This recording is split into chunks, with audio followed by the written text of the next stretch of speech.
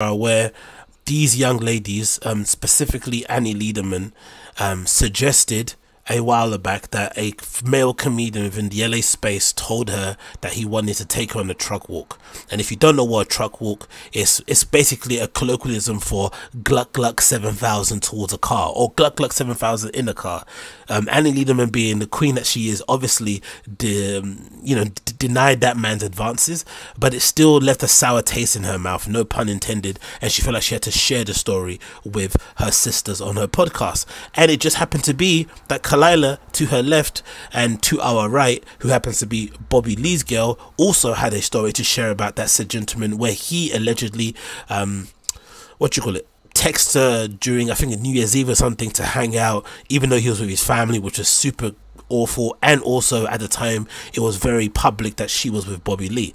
So at the time, they didn't share any names. They didn't say who it was. Literally, if only you're one of us and you're balls deep in this shit, you would know who it was. But no one would have known who this person was that they were talking about. But of course, the homeless cats on The Fighter and The Kid's subreddit discovered it and they found out that allegedly it could be Brendan Schaub. I'm not sure if it is. Don't sue me, you gargoyle looking motherfucker. I'm not too sure if it is you, but people are saying that it might be you. So the trolling began. People started going in on him. They started trolling him. I'm sure people reached out to his girl, which I'm not a fan of. I don't believe in getting the kids or his girl or any of his family members involved in this. Brendan's a public figure, leave it all to him. But they did that regardless. Then, of course, I think just after that, if I'm not mistaken, that might have coincided. No, just after that, Brendan then was doing a live stream with Mike Tyson for um, the Super Bowl, I think. And like an idiot, or as unlucky as he is, he got caught on live stream in 4K handing a note to some random girl who looked like she was very happy that somebody like Brendan, who is somewhat famous, was um, into her and gave her a note or whatever it may be. People, of course, clipped that, threw it up on a subreddit. That went crazy again. Then I think that coincided with Brendan's wife at the time, or Miss, or whatever you, whoever that girl, whatever she is to him, um, she was removing his name on the bio, taking it off, deleting his pictures, like loads of messy stuff behind the scenes that you could see. Okay, he's def, all this is definitely causing some turmoil in his household. Then eventually it got to a point where I think, as per usual, she decided to go on a, Las Vegas trip, which is usually something that coincides with either him stepping out or him she not being happy with him, or I don't know. They've got some relationship stuff going on there where it seems like whenever they go through an issue, she happens to jump jump on a plane to Las Vegas, hang out with her girl, and you know, and do what girls do. Cool, whatever, doesn't matter. Get back to Brendan somehow or the other, he then decides during that process to go and sue Uniques, a, a, small YouTuber. Other YouTubers get pissed off, they get angry, they start shouting at him, and now we're in a situation now where he is allegedly suing the ladies that he tried to hit on. Which I don't understand. But anyway, let's hear it in their own words. They basically discussed it without naming Brendan Schaub, but basically they're talking about Brendan Schaub. All right, I actually do want to come out. There's been a lot of stuff about a certain oh no a certain walk in a certain like vehicle walk to a vehicle and i want to say the initials are bs but he did pass away recently in a hotel room so i don't want to out him he um, uh, man yes it was a comedian with the initials bs that wanted me to walk him to the truck but he is he has passed in, in florida may his soul rest. He's a good person. He's a good person. Oh. Oh boy. Well, if you, I mean, I don't think we've ever addressed this on our show, but DeuxMoi did. I think we cut that out when we talked about it. Did right? we? We did. Okay, let's get juicy with it. So DeuxMoi is a celebrity like gossip account, and a couple, maybe about a month ago, they posted something about our show and we know it was about our show because it had the word bloodbath in it, and it had like other. Oh, it had. Oh, you don't know? sleepover. Could have been about that other bloodbath show. Oh wait, nobody talks about that show. and um, They're never gonna give us the name back. we want the fucking. yeah, I know we want the name. Give us the fucking name. So we um it this post on the go- gossip site said like this popular podcast which we were like hey girl thanks for calling us popular and uh, it said that we had a lot of controversy behind the scenes and tension that we had we were a part of a big scandal and that the tension you were feeling was real amongst Nobody us felt any tension. But that scandal that they were referring to had nothing to do with the three of us, and it was because Go ahead. of, uh, it's potentially we were threat being threatened uh, a lawsuit. Uh, and I'm like scared to even say that out we loud. We can't really. We just won't say the name, right? But We we'll won't. just- Yeah. but someone was like behind the scenes threatening to sue us.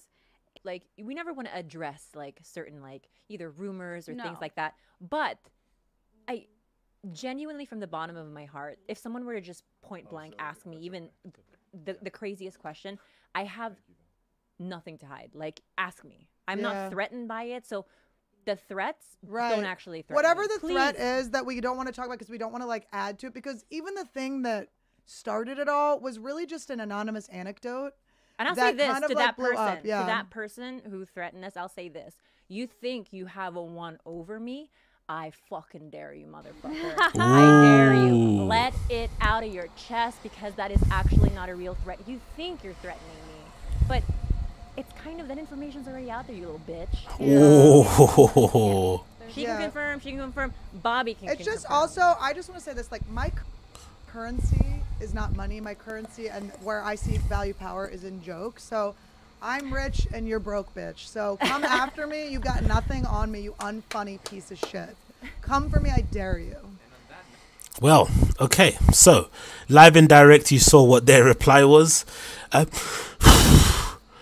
I think I mentioned this in the video before when I spoke about this issue. The number one problem for me, I feel like, I think we've all kind of been in this sort of scenario as men. I feel like, especially if you sometimes um, give in to your, uh, give in to the desires of your penis. I don't think it's really a smart idea to try and hit on women that you happen to be in the same scene as right? I really don't.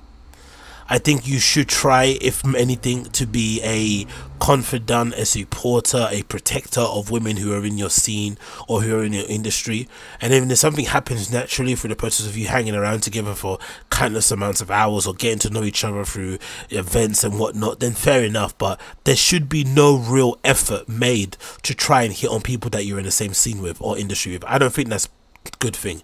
Of course, I've done it myself. I've I've had many failed attempts, many successful attempts, but I don't think it's actually a good thing. It it inevitably always leads to issues. Always, always. And if it does work out, and then you end up breaking up, what happens? What happens then? If you do, if you do end up and you end up breaking up, what happens then? Then you have one of you have to has to leave the scene you're in. Imagine you move to a new city, you have to leave the scene you're in. You have to find a whole new social circle because people will have their loyalties about who they're kind of loyal to in a group and whatnot. It just doesn't seem like a worthwhile thing to do. I really don't agree with it. I've always thought it's a bad thing, personally, in my opinion.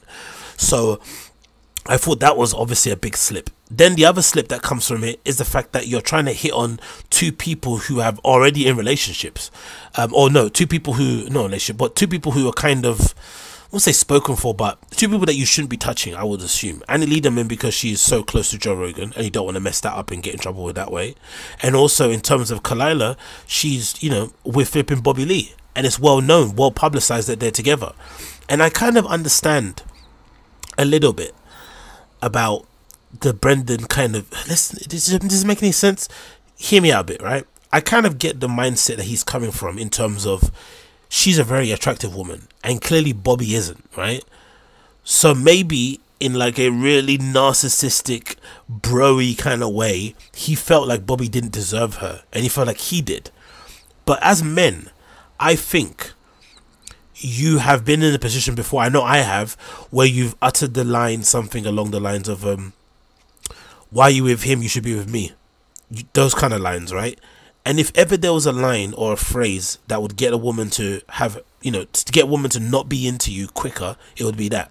If you want to get a woman to kind of be turned off and completely disgusted by you and think you're an absolute douche, tell her that, oh, the person that she's seeing is a loser and she should be with you.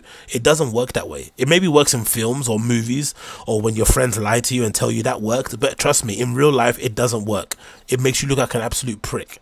So maybe that's where he was coming from. He was like, nah, man, how did you get her, man? She should be with me, blah, blah, blah, blah. And I'm assuming as well, not to be crass, I would assume too, in the comedy community, when a new woman comes along, it's like fresh meat, right? And you have to try and jump on them before and before before they see anybody else or before they get impressed impressed by somebody else. I don't know, maybe.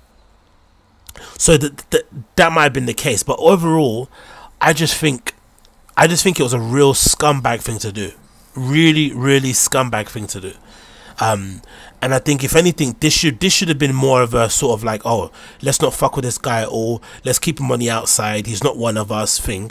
But because Brendan's associated with Joe Rogan, I think people kind of skipped it and they kind of let it be. They just kind of didn't really pay much attention to it or just kind of let it be where it was. But I think this is a real big problem. This anything should have been a vindication of just how weird of a guy Brendan is and the issues that are at hand. I think this should have been a problem. I think this should have been the flipping the warning sign for everybody out there seeing it because I don't really think that's cool. I really don't.